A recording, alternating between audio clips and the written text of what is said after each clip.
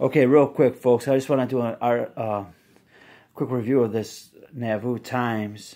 It's a it's a pretty neat thing put out by the Nauvoo Christian Visitor Center, and you can see there. There's the website missiontomormons.org up there in Nauvoo, where I just was visiting. But I, in that video I did, you couldn't really see um, on the temple because the way where we were, we had to stand across the street to, to preach and stuff. So these are the symbols that we were we were pointing out in the video.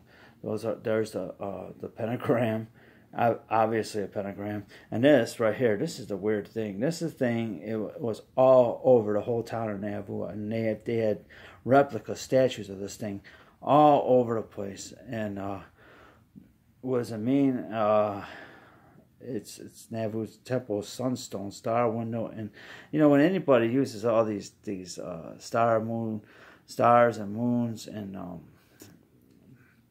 and suns it's all it's always paganism. Uh, that's a sun god is what that is.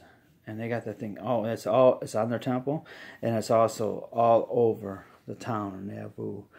Uh, if you'd like a copy of this you can read it I'm not going to read the article uh, to you. But if you'd like a copy of this again, Nauvoo Christian Visitor Center, and I'll put the information in the description box.